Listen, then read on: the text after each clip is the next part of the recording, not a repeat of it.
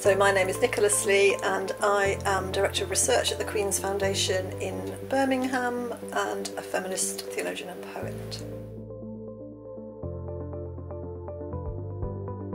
It, it's a major theme of feminist theology for the last four decades or so that um, uh, it's really bad news for women, but also for men, if God is thought of only and exclusively in male terms. So, you know, Mary Daly famously said, if God is male, then the male becomes God.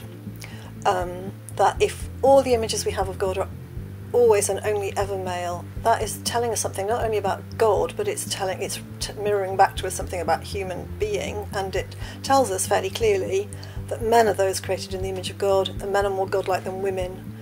Um, so I think at a psychological and a sociological level, it's really important that we have female images for God to expand our awareness of who God is. God is always God is always so much greater, bigger than we know, and God is always coming to us in new forms. But also for women and girls themselves to see themselves mirrored in God. So that, that how else do we know? How do we know we're made in the image of God unless we can see images of God that look like us? Now, I think it's really important that we don't only make God in our own image. That's that's dangerous because God is not simply like us. God is also strange and unknown.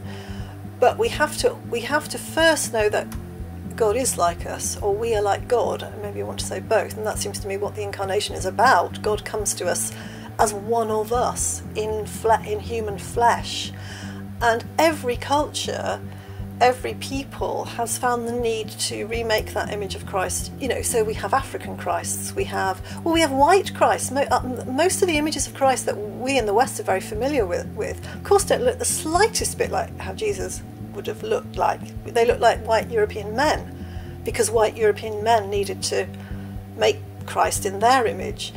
But that's not, and that's legitimate as long as we don't think that's really what God is like. So we have African Christs, we have Chinese Christs, and we have female Christs. Not because Jesus of history was a woman, but because women need to know that the Christ of faith embraces our lives, our issues, our questions, our concerns.